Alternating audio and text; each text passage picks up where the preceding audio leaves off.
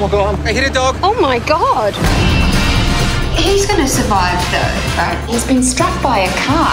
It's more of a nudge. You're looking at around $12,000. $12,000? It's a dog.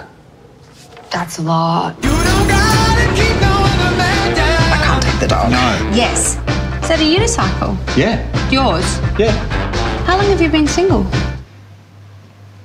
A while. It was your destiny to hit this dog. You would have done it with or without me.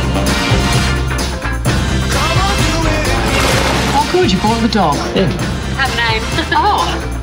I think you should marry her. Oh, she probably wouldn't say yes, mate. We've got this. We've got this. We don't, but you know, your optimism is adorable.